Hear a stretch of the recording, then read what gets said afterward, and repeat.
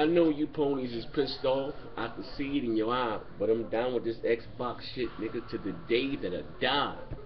Gangbanger. Ain't never been a mule, but I mean I used to sell rocks with that was back in school. It's like, nah, fuck all that. Today's video, I just, good news, great news, especially if you own a next generation console. Uh, the new Batman, I watched the trailer. I'm not really too big on CGI trailers, but uh, I like what I've seen, you know, like what I saw, you know what I mean? Uh, I hope all those enemies uh, do be in the game. Uh, read an article, they said that thanks to Next Gen, that they're now are able to include a Batmobile. So, shit, imagine if it's open world riding around, dipping around the street with the Batmobile little gadgets and shit. I think that'd be dope. You know what I mean? Hopefully, it, it, it comes out this year, if I'm not mistaken. Hope they show some more uh, gameplay. You know what I mean? And the reason why I not say but I take a game like this, right? I take a game like this that's not coming to the Wii U, and um, and the Rocksteady said thanks to next generation. So let's let me know right now the Wii U is not strong enough to run that game and and I just had a, a conversation, a one-on-one with um, you know, you guys see, you guys can check it out.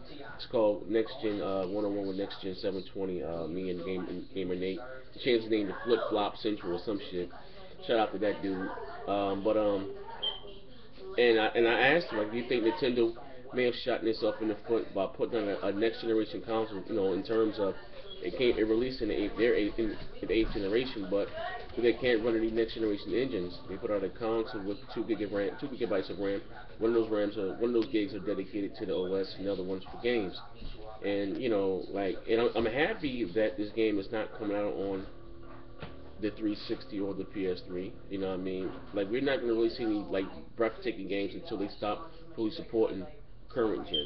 You know, well, current gen. You know what I mean? Or the 360 PS3 and yes, the Wii U. Uh, well, they, they don't get much third party support. That's not a, a attack against Nintendo fans, but I mean, it is what it is, man. But anyway, this is your boy Next Gen Summer 20. Uh, I got my eyes open for this game. I can't wait to get it. Can't wait to play it, and I'm excited.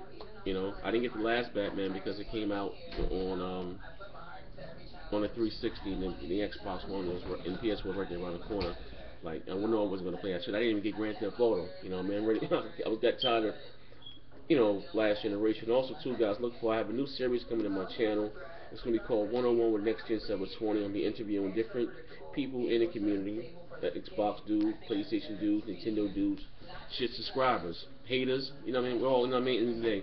Looks, like I said, if you're interested in, you know, coming on my show, my channel, hit me up on Skype, Zaire720.